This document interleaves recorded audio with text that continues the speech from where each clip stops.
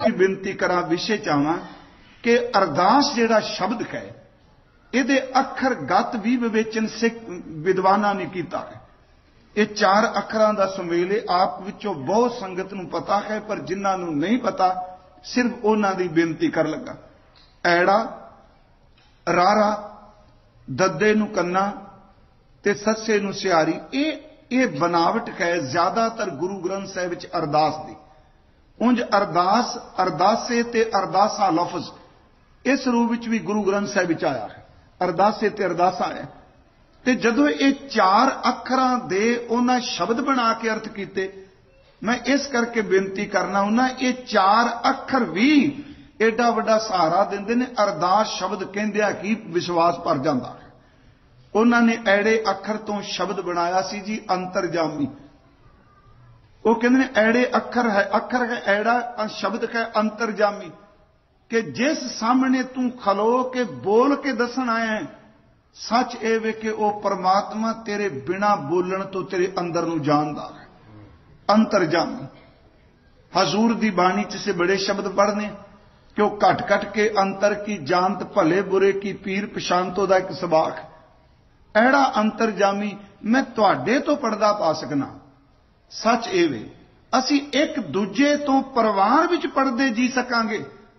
ਪਰ ਪਿਆਰਿਓ, ਵੈਗੁਰੂ ਤੋਂ ਪਰਦਾ ਕਿਹੜਾ ਮਾਈਕਾ ਲਾਲ ਪਾਏਗਾ?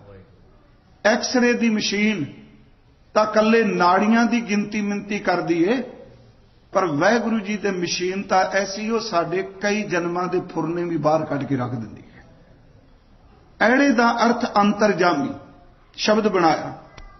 ਹੁਣ ਦੂਜਾ ਅੱਖਰ ਹੈ ਰਾਰਾ। ਰਾਰੇ ਤੋਂ ਉਹਨਾਂ ਨੇ ਸ਼ਬਦ ਬਣਾਇਆ, ਰਖਵਾਲਾ, ਕਿ ਪਾਰ ਬ੍ਰਹਮ ਪਰਮੇਸ਼ਵਰ ਕੇਵਲ ਅੰਤਰਜਾਮੀ ਨਹੀਂ।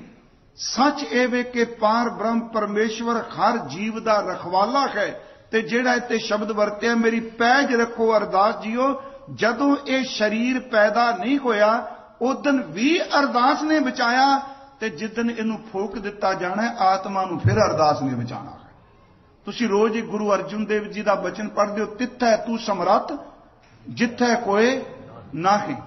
ਕੋਏ ਨਾ ਸ਼ਬਦ ਦੂਆਂ ਥਾਵਾਂ ਤੇ ਟੁਕੇਗਾ ਜਿਤ ਤਿੱਥੈ ਤੂੰ ਸਮਰੱਥ, ਜਿੱਥੈ ਕੋਏ ਨਾਹੀ, ਉਥੈ ਤੇਰੀ ਰੱਖ। ਕਿੱਥੇ? ਅਗਨੀ ਉਦਰ ਮੈਂ ਉਥੈ ਤੇਰੀ ਰੱਖ, ਜਿੱਥੈ ਕੋਏ ਨਾਹੀ।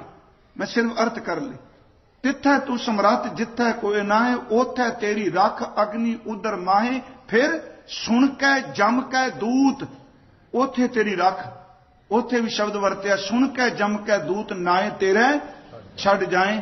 ਪਰਮਾਤਮਾ ਵਹਿਗੁਰੂ ਕੇਵਲ ਅੰਤਰਜਾਮੀ ਨਹੀਂ, ਰਾਰੇ ਦਾ ਅਰਥ ਰਖਵਾਲਾ। ਇੱਥੇ ਤੇ ਉਥੇ ਵੀ ਰਖਵਾਲਾ। ਮਾਤਾ ਦੇ ਉਦਰ ਵਿੱਚ ਵੀ ਰੱਖ। ਉਸ ਤੋਂ ਬਾਅਦ ਤੀਸਰਾ ਅੱਖਰ ਹੈ ਅਰਦਾਸ ਦਾ ਦੱਦਾ। ਹਾਲਾਂਕਿ ਬਾਣੀ ਨੇ ਦੱਦੇ ਅੱਖਰ ਤੋਂ ਸ਼ਬਦ ਹੀ ਬਣਾਇਆ ਇੱਕ ਤਾਂ ਦੱਦਾ ਹੈ, ਦੋਸ਼ ਨਾ ਦਿਉ ਕਿਸ। ਇੱਕ ਬਚਨ ਹੈ, ਦੱਦਾ, ਦਾਤਾ, ਏਕ ਹੈ।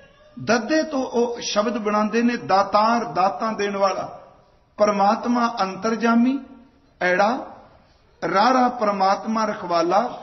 ਦੱਦੇ ਦਾ ਅਰਥ ਹੈ ਦਾਤਾਰ। ਉਹ ਅੰਤਰਜਾਮੀ ਹੈ, ਰਾਖਾ ਹੈ ਤੇ ਦਾਤਾ ਹੈ। ਇਹੀ ਤਾਂ ਬੰਦਾ ਮੰਗਦਾ ਰਖਵਾਲੀ ਤੇ ਦਾਤ। ਚੌਥਾ ਅੱਖਰ ਅਰਦਾਸ ਦਾ ਹੈ, ਸੱਸਾ। ਸੱਸੇ ਦਾ ਉਹਨਾਂ ਸ਼ਬਦ ਬਣਾਇਆ, ਸਹਾਰਾ।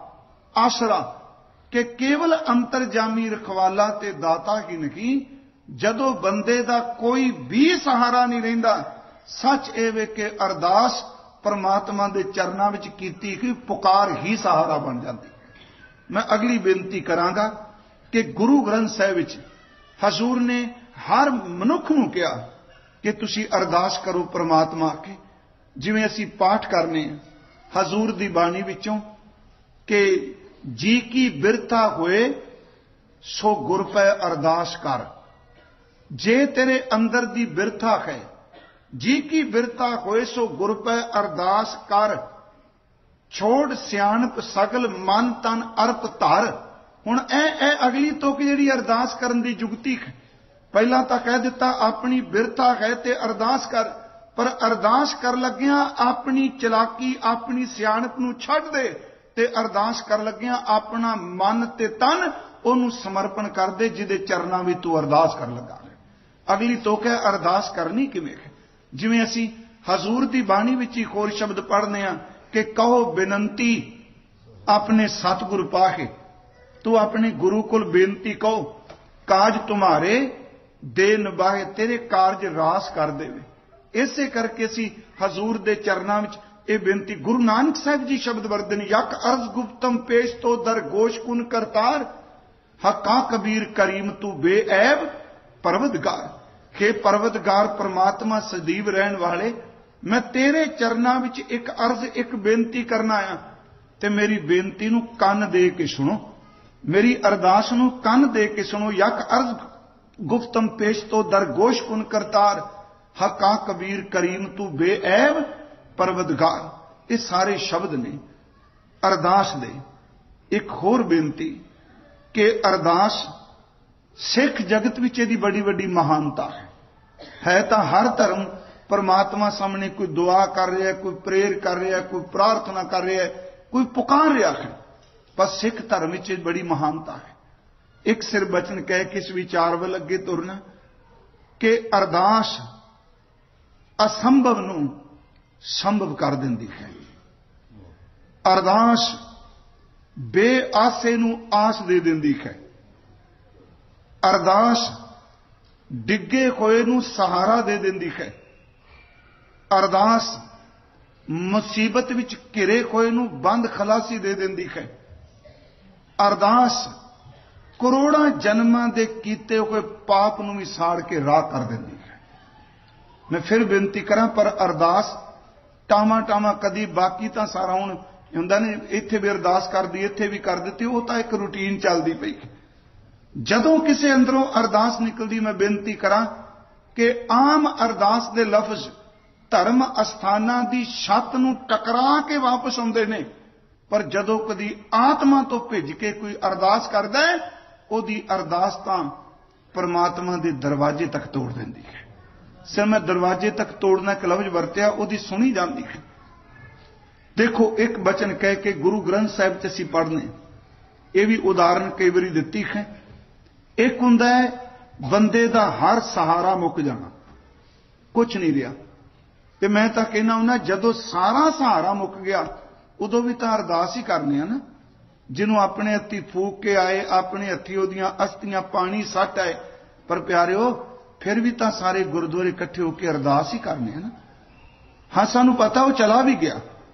ਪਰ ਫਿਰ ਵੀ ਅਸੀਂ ਇੱਕ ਭਰੋਸੇ ਤੇ ਬੈਠੇ ਆ ਇਹ ਅੱਗੇ ਮੈਂ ਬੇਨਤੀ ਕਰਾਂਗਾ, ਜਦੋਂ ਆਵੇਗਾ ਕਿ ਅੰਤੇ ਸਤਿਗੁਰ ਬੋਲਿਆ, ਮੈਂ ਪਿੱਛੇ ਕੀਰਤਨ ਕਰਿਓ ਨਿਰਵਾਣ ਜੀਓ।